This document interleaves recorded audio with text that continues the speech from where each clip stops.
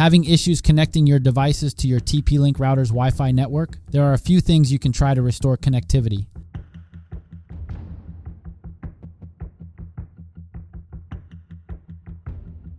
Reboot the router. Reboot your TP Link router by unplugging the power cord from the wall outlet for 30 seconds, then plugging it back in.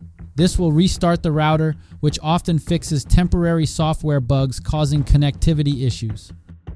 Check the Wi Fi settings. Make sure the router is broadcasting its Wi Fi network by checking that the Wi Fi on off switch is enabled, should be switched to the on position. Also, double check that the correct Wi Fi network name, SSID, Wi Fi password, and encryption settings, WPA2, were entered correctly on all devices attempting to connect.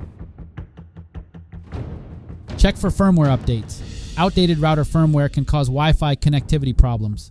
Log into your router's admin interface, go to the firmware update page, and check if any new firmware updates are available from TP Link.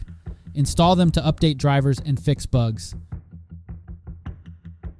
Change the broadcast channel. Try changing the Wi Fi broadcast channel in the router's settings to a less crowded channel, reducing interference from nearby networks that can disrupt connectivity. Channels 1, 6, and 11 are usually safe options to try first in standard settings.